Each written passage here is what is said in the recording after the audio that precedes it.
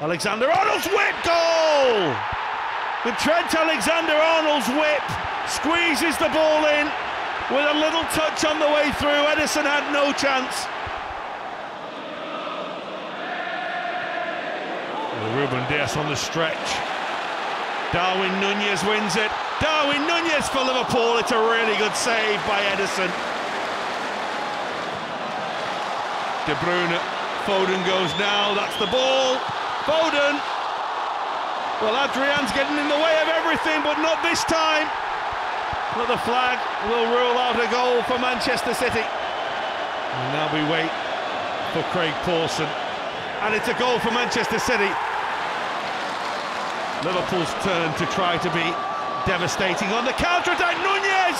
Oh, it's surely come off the arm of Ruben Dias. Well, we're going to the screen. Penalty kick.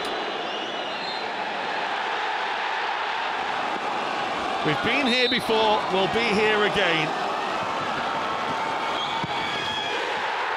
He squeezes it home quite beautifully. And Liverpool do have a second goal. And he is unshakable. Bernardo Silva's touch wasn't good. And here's Fabio Carvalho. Can he finish it in style?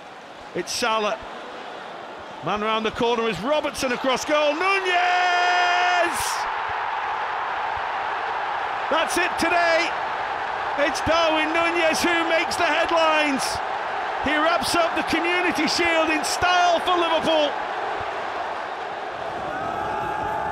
Liverpool win the Community Shield. It finishes at the King Power Stadium.